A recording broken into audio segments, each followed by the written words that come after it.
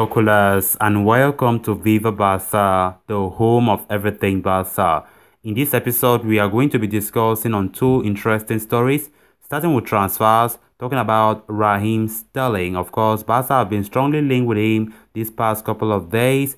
Recent reports are now saying that Sterling is really eager to come to Barcelona in the January transfer window. We are going to be discussing on that as we move ahead. Then to conclude, we are going to be discussing on some recent statements made by La Liga president Javier Tebas, you know, who claimed that Barcelona could have kept Messi if they had not signed Memphis Depay and Aguero. We are going to be discussing in more detail on what he said. So callers, as we get ready to discuss those stories in more detail, please make sure to subscribe to the channel. If you haven't subscribed, give this video a like and also make sure to watch this video right up to the very end.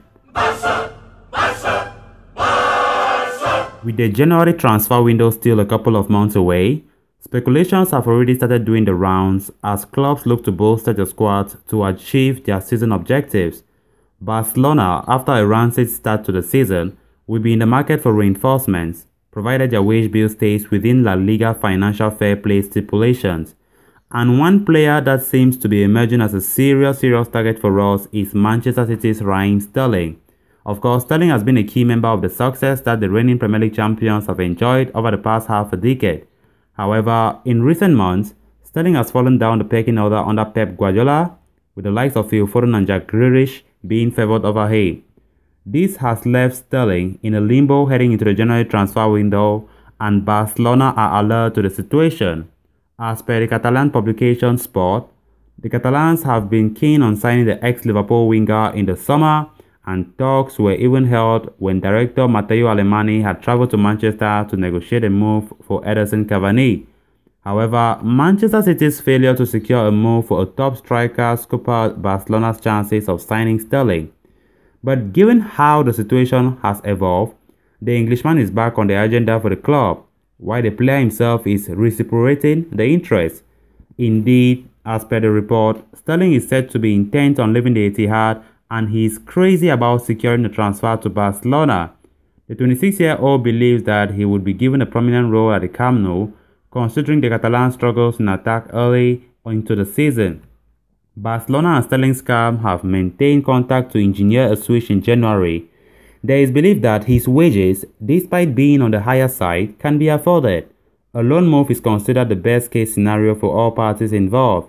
A move, however, will hinge on Manchester City's willingness to do a deal as well as Barcelona's own situation with regards to their form and results. Then on to the next story of discussion. La Liga president Javier Tebas has claimed that Barcelona could have kept hold of Lionel Messi if they had not signed Sergio Aguero and Memphis Depay in the summer transfer window. Tebas says Barcelona president Juan Laporta was very keen to sign the CVC deal, which would have reportedly been worth around 270 million euros to Barca, and believes he pulled out because of pressure from Real Madrid chief Florentino Perez. Is Tebas' side of the story. He said, I had dinner at Laporta's house and he agreed to sign the CVC agreement. I didn't know if Messi could renew because of that, but later I got a call from Laporta. Can we accelerate the CVC deal? The kid Messi is getting nervous. I told him, the day it comes out, Florentino is going to try and burst it. And Laporta told me, no, no, I have character. Florentino is behind it all, I have no doubt. There was an agreement that if Barca signed the CVC deal, they could have put 15% of the money towards signing players. In my opinion, they could have signed Messi. Laporta signed players like Memphis, Aguero. If he didn't sign those players, Messi could continue. Those are the words from the La Liga president Javier Tebas. Of course, Laporta has said all summer that was optimistic he could keep hold of Messi and claimed several times everything was on track until suddenly it really wasn't.